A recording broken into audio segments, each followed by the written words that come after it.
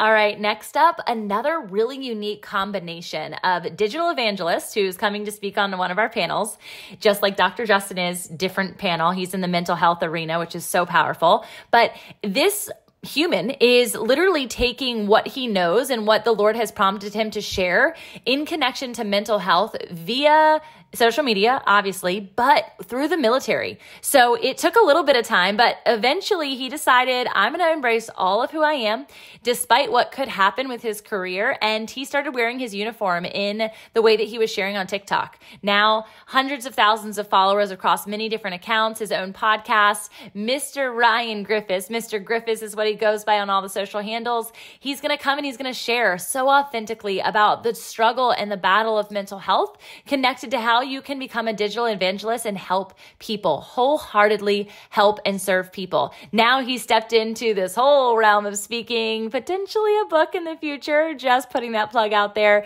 He has an agency that has helped him catalyze this career and the military is celebrating his service in a really dynamic way. So this is a lesson to just not be afraid to go for it. And when God is prompting you into something, you know, just no spirit of fear, no spirit spirit of condemnation. Go boldly, be strong and courageous, and do it like Mr. Ryan Griffis. Mr. Griffis in the house. Let's go.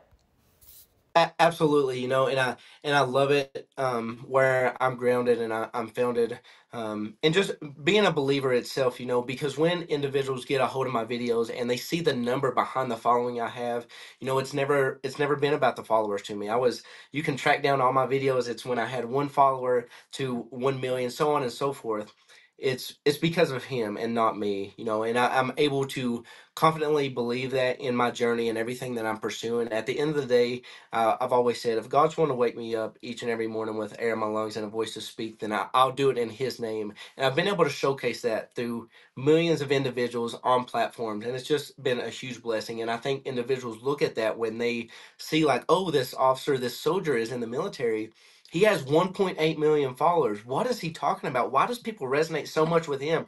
And they're like, oh, he said Jesus in uniform. they're like, we can do that. Oh, he said he was struggling. We can do that. And then that's always the the conversation starter like, are you not scared of doing that? I'm like, the day that I cannot do that is the day that I'll hang it up. Yeah. Yeah. I mean, that gives people such permission in a way yeah. that they don't think that they can. It almost makes me correlate to like the Pharisees and Sadducees versus the tax collectors and frauds and all the people that were hanging out with Jesus is like, hey, I'm mm-hmm. Jesus's friends. They were more vocal in sharing of the Messiah than the ones who were following the protocol, right? The rules mm-hmm. and the mm-hmm. regulations and signed on the dotted line. Right.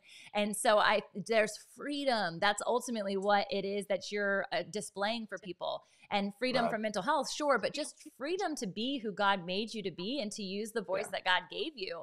You said breath in your lungs, like every single day. If there's breath, then you're meant to share.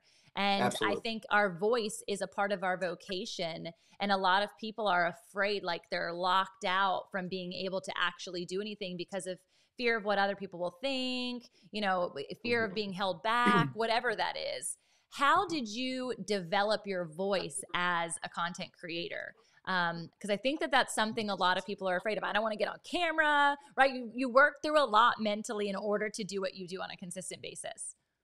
Yeah, that's a that's a good question as well because I can remember when I first started, you know, I was 30 day I was less than 30 days being back from Iraq and my younger brother and I um, was really struggling. We were struggling together and then we went on this journey for a whole year to become sober and that's really kind of where it started and i never launched a video on social media i was still scared of the camera but everything that i was going through all the dark times the troubles and trials and that journey i had saved those videos talking in that camera of like in a perspective mm-hmm. of what I needed to hear, but it mm-hmm. was from somebody else. And I would I would listen to those videos, and then I just launched one one day, and so many people resonated with it, and it went viral, and it had comments, and little did everybody know I had 300 of those videos saved. So I just constantly kept wow. launching them, and they're like, and then six months down the road, I launched one in uniform. So now I had already had over half a million of followers that resonated with my story and my journey and what I was saying and what I was going through. And I seen the struggle and pain through the comments and the DMs and the emails from everybody. And then once I re- people realized that I was a service member, they're like, wow, he is actually really putting himself out there, and we're kind of intrigued that um, and wanting to see what happens with his journey. So I was able to really connect with people through that aspect Wow. of it. Did you ask permission to do that before you did it? Absolutely not. Um, I left it all. That's one of those things where I had full faith in the Lord and and was willing to, if the career had to end because of what I had to say on what I had to go through, Wow. um, and how uh, God was changing my life, and I was willing to hang up my uniform and put it in the closet and never look back.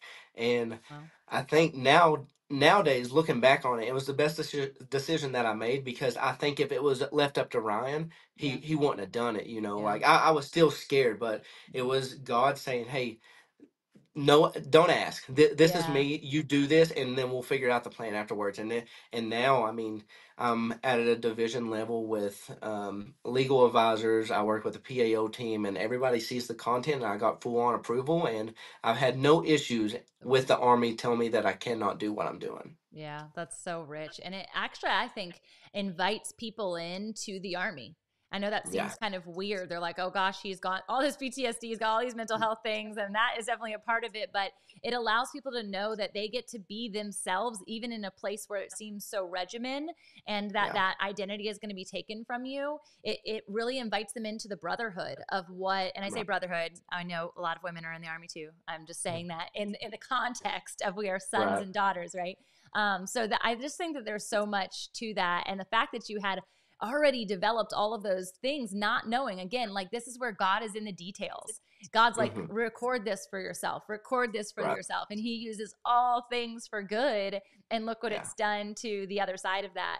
I wanted to ask a hmm question about the DMs because as a coach, and I, I do something hmm totally different than you, but uh, in the context of not only business coaching, but I find myself life coaching all the hmm time. I've been asked to life coach for people, and I take women on retreats that have nothing to do with business. But I have found that there's this precursor to people who are effective in business and can truly activate is that they have to hmm be able to activate their identity first. That who they Right. are. And so when you have all these DMs and you have all these comments and you've got people who are telling you about their perspective on suicide, their potential suicide, or the hmm nightmares that they're having, or the spouse that is dealing with such things, you're not a therapist. And Right. yet, I know that you can utilize the word to cut through any jargon in that regard or any Mhm. enemy's tactics. How do you present yourself in that regard? And what is kind of your methodology around it? Yeah, it, wa it was very scary, especially being known as a service member um, by degree, by by default. I am not a therapist, and I never proclaimed to be. I mean, I, I think that was the the by regulation and the legal side of it where I was the the the most scared. I think is because I had all these messages, all these emails, all these soldiers, um, and it was good and bad. You know, I had a lot that had a lot of positive message uh, messages, but there was a lot that was very heartfelt and that it took a toll on me because I didn't realize how much pain and suffering that these soldiers and these service members had until I started reading them for myself because I had never dealt with that. I've always uh, just dealt with my own issues um, and nobody else. So having those soldiers and them reach out to me, it, it was scary reading some of the messages and some of the DMs. And that's when I really had to start taking it serious, serious because I was like, hey, this isn't just a me thing. This is a nationwide thing and i was able to get the help that i needed first um, and know the way to get help so i had so many uh, outliers that were uh, able to really fill me in on the direct the, the way to direct soldiers in um, the utilization that we have in the army so after i was able to get the help that i needed I had so many resources and so many people to point them in the right direction to get those soldiers, to get civilians, individuals help um, that I really didn't even know was a thing until I went through the process. So I think going through that process myself and finding that help was able to give me that in my toolbox and my arsenal when somebody did reach out. It's like, hey, this is what I've done. yeah. Um, I'm not telling you that it's going to work. And, and I'm not a therapist by no means, but this is what I've done and, and it helped me.